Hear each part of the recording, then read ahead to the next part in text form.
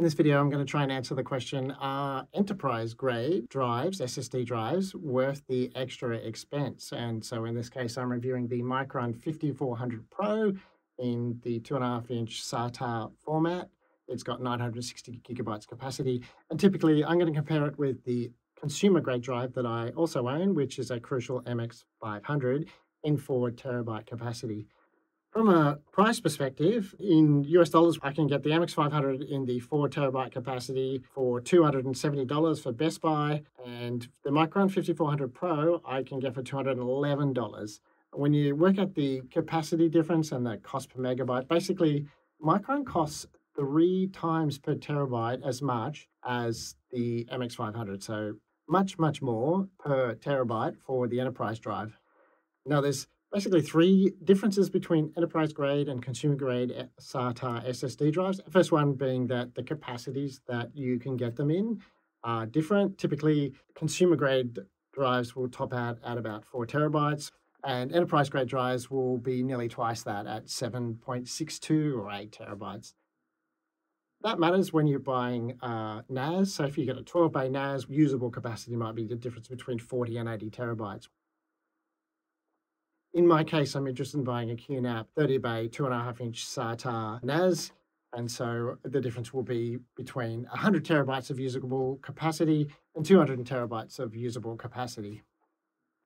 The second big difference between the two will be that consumer drives typically have an SLC cache, which when it fills up, they slow down in copies. If you go to a, a quality SSD reviewer, typically they'll do a sustained write test across the whole drive. For consumer drives, the SSL cache will fill up and the write speed will drop like a stone. In the case of the Micron, there's basically no SLC cache. It will write at 500 uh, megabytes per second for the entirety of the drive. And the MX500 will go from 500 megabytes to when the cache fills to 400 megabytes. So, not a huge amount of difference there in sustained performance. And finally, the big difference will be in drive write life. So enterprise drives typically have a much larger drive write life. In the case of the MX500, it has a 1,000 terabyte drive write life. And for the Micron 5400 Pro, the endurance is 2,228 terabytes. And the larger the Micron drive you buy, the larger the drive write life.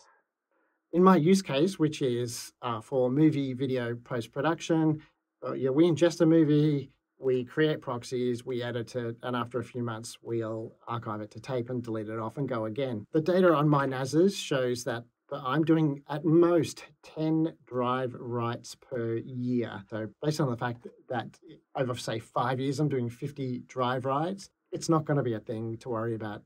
The only reason I would get enterprise drives is because of data density because I do want a two rack unit size NAS with about 200 terabytes capacity. And so I can't get that in consumer drives and I can get it in enterprise drives. But is it really worth the considerable extra cost?